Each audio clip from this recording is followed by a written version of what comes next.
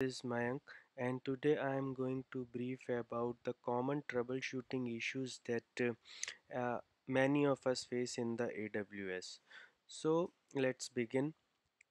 So, what are the common issues? So, the most common issue that uh, we experience is permission issues. So, majority of us actually work in enterprises and we have the uh, AWS account that is provided by the company and that account has a very limited access.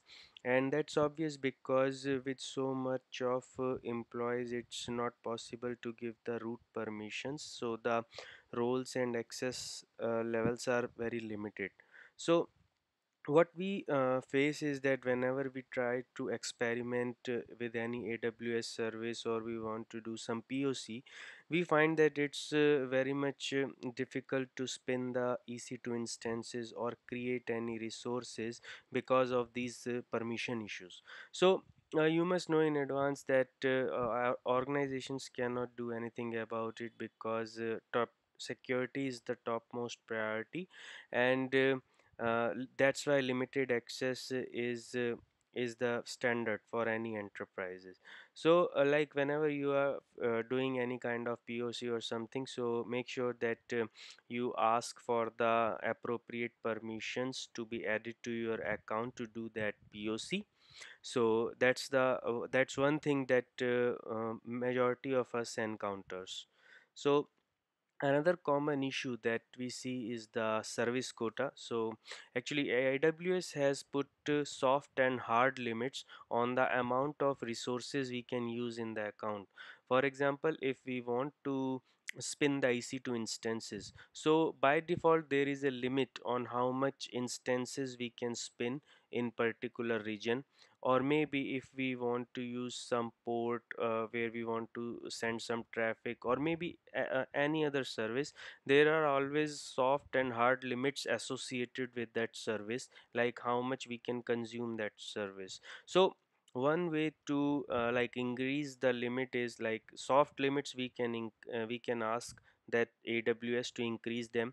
So for that we just have to raise a ticket with AWS that I will show and hard limits are something that are the uh, limitations that a service has so they cannot be altered so we have to uh, design our architecture in such a way that it should be well under the hard limits Another thing is the console limitations. It's uh, rare to see, but uh, let me uh, give you an example like uh, what it is. So uh, the thing is that using AWS console, if you are trying to configure some resource in AWS, then uh, you may face issue because uh, with AWS console there may be limitations and limitations could be like for example if you are trying to create an ECS cluster uh, maybe it's a Fargate cluster or maybe it's an EC2 based cluster.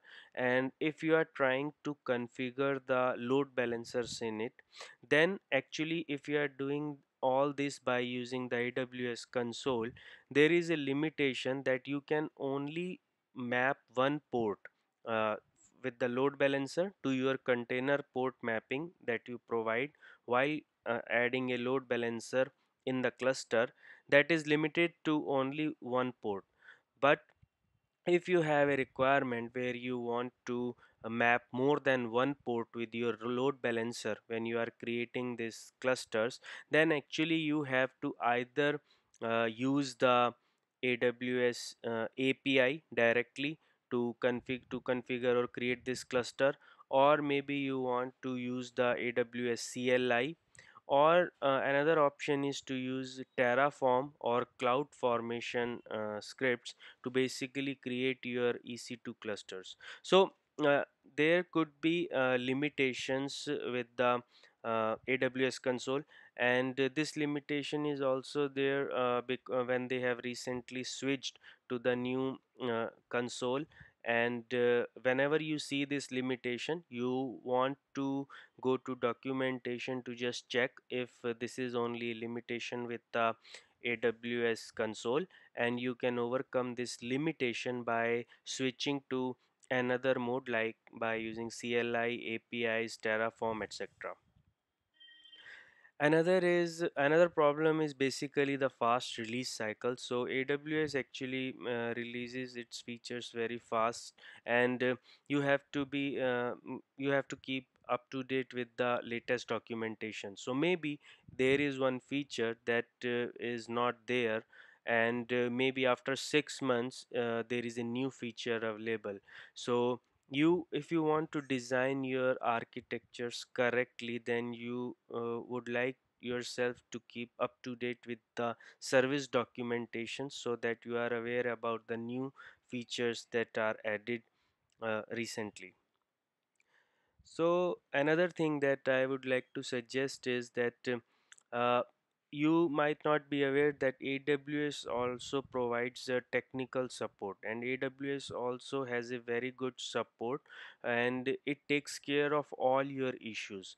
So if you are struggling with some issue in AWS, maybe in your organization or maybe in your personal accounts, then you uh, must consider about reaching directly to the AWS support with your queries. It's very easy to uh, reach the AWS support team and I will show you how.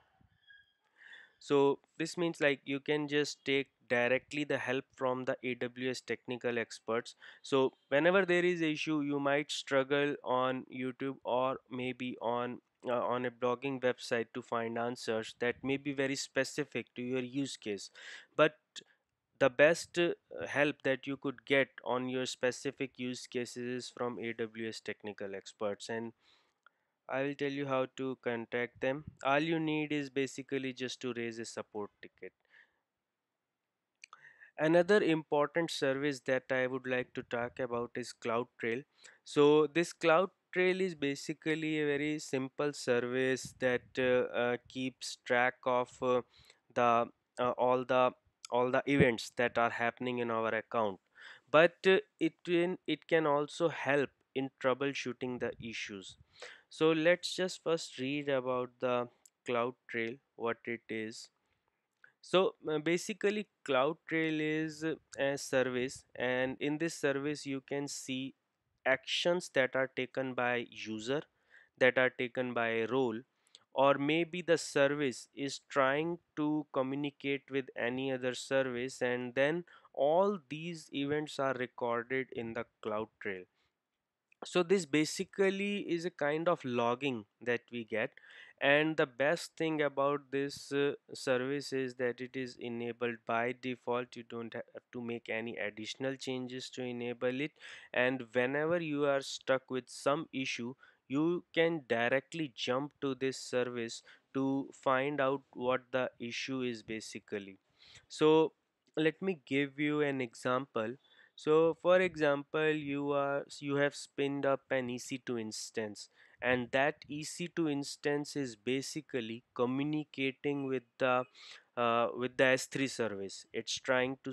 upload some data over S3 and trying try to encrypt it or decrypt it, etc.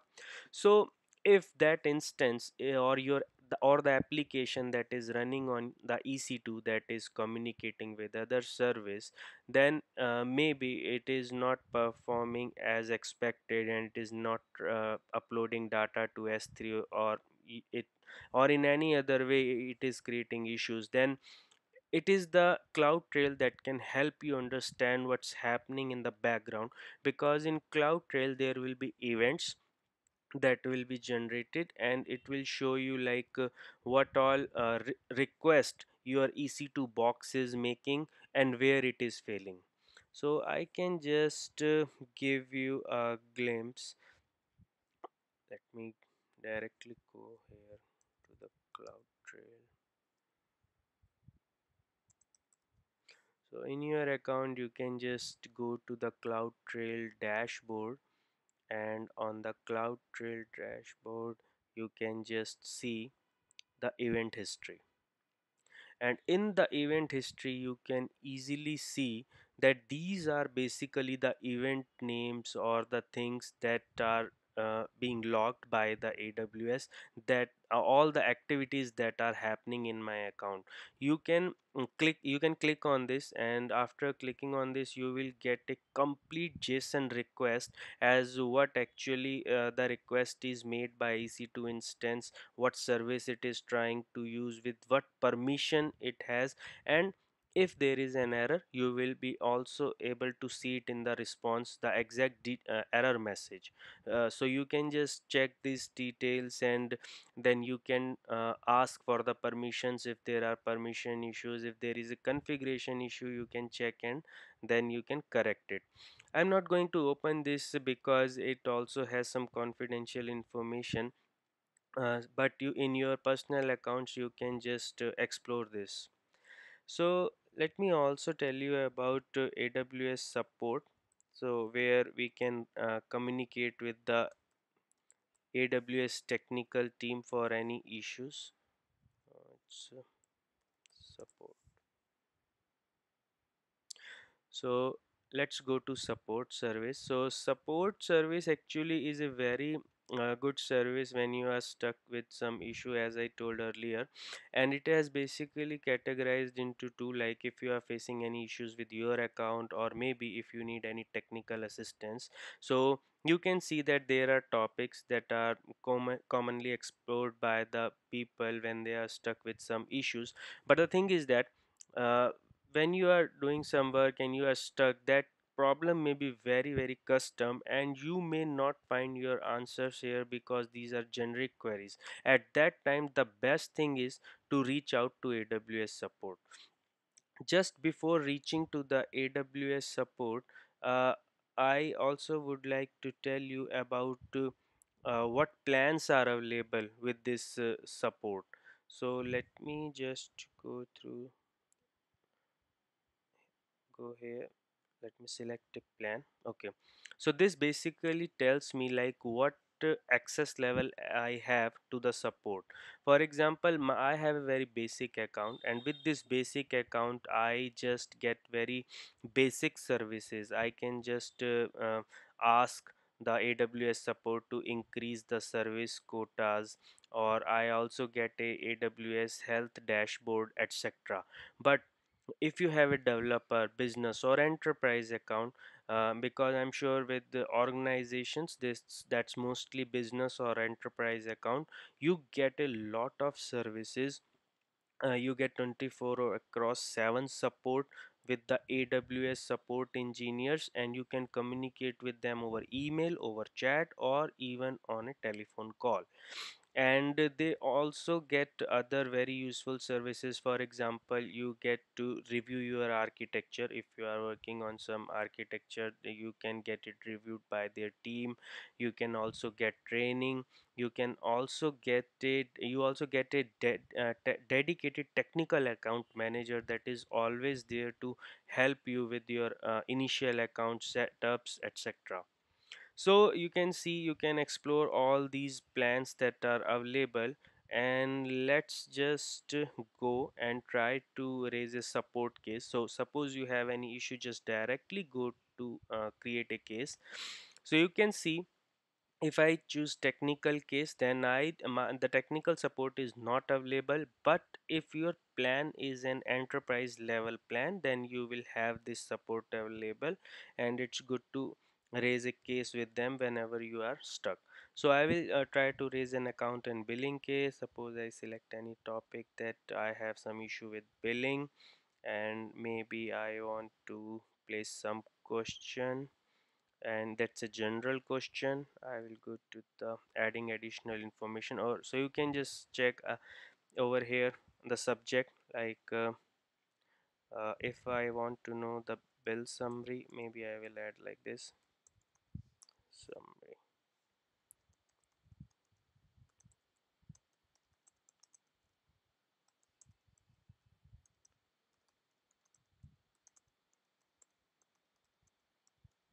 so any question that you uh, that you want to raise with them so just raise with them. Next I will go with contact us. I will check the web option and I will just submit my case. So my case is raised. So you can see this is a case ID this is my question. And uh, whenever uh, the AWS will reply you will be able to see their reply on the same screen. So you must consider uh, raising an issue with AWS team whenever you are stuck in your organizations because they your enterprise accounts have very very much privileged and maybe your use cases are such that they are not available on net, on the internet. And AWS team has a very good insight into your accounts so they can help you much faster. So friends that's all about this uh, Uh, troubleshooting tips. Thank you